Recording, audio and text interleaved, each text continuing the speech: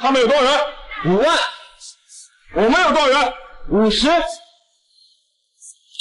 走他！祝福咱们顺利参加高考。盘点高考护航的暖心瞬间，你们背后是强大的祖国。哎，不过干部三方乱噻，错了高考了，不打了时间到了，你头人，再中个才中个。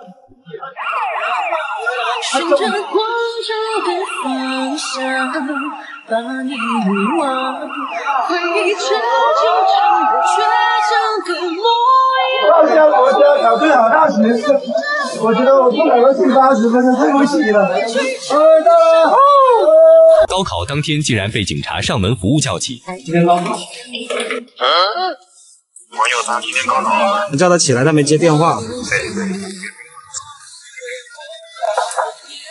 今天高考，他说打电话给你一直没接，然后他怕你们睡过头，然后就报了警，然后我们就过来找你。他说：“哦，不好意思，麻烦你们了。”啊，没事没事，你们都起来了。哦哦，好好，啊，没事。当考生由于紧张将证件遗忘在家中，武警官兵一路狂奔护送。哎，你好，他他准考证没拿。对，宝宝，帮我拿下来，帮我拿下来，快快快快快！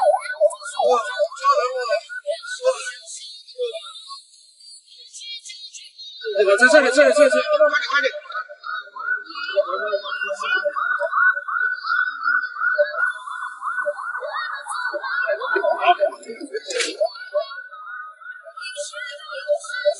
非常感谢叔叔们，没没，一生中的恩人，加加油，加油，加油，加油，加油！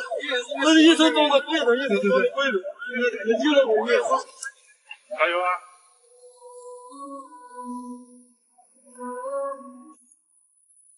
当交警一路狂奔，只为了给考生补办准考证，最终累瘫在考场外。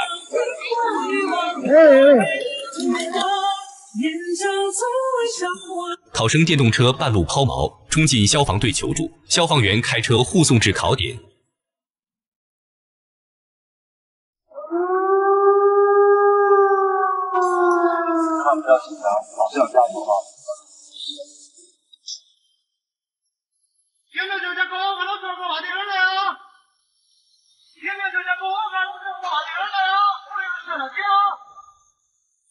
那年湖北大雨，消防员亲自将考生背出水中。勇敢的向前走，黎明的那道光会越过黑暗。而警民一心，永远不是一方在付出。下雨天，学生从车窗将伞扔给交警。记住，高考从来不是你们一个人的战斗。现在强调一下，遇到考生求助，必须第一时间予以帮助。大家清楚没有？歌颂这种平凡，一两句唱不完，恩重如山，听起来不自然。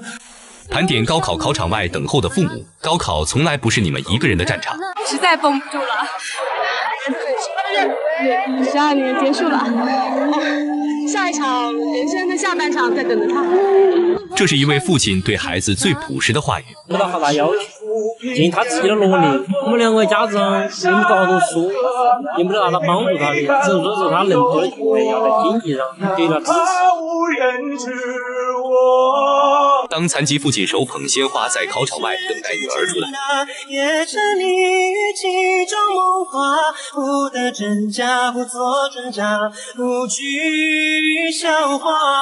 在考场外守候的妈妈，可能比孩子还要紧张。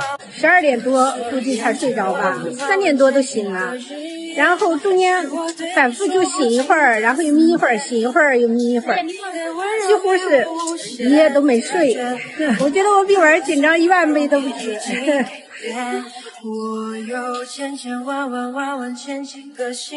有一种温情，叫做考场外父母的等候。山上雪草花开放，你看你加雨了没有？采一朵送给我。顶着高温，满眼都是期待和爱。也许是自带的小板凳、扇子和水，但他们目光所及，皆是你考场的方向。那是父母的爱与陪伴。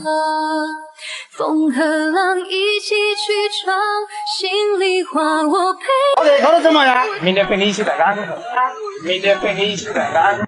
盘点高考毕业生的神回复。感觉不行，可能明年还在这儿。我们留个联系方式，明年你就在这儿找我。高材生讲究的就是一个提前预约。当第一个高考考生冲出考场，可简单了，挺好的，挺好的。好了，你是这么快就跑出来，是为了第一个出来吗？对，我就是为了接受采访。今天晚上你们有计划要做一些什么事情？哦，我想，我想染头发去，自由了，自由了，自由了。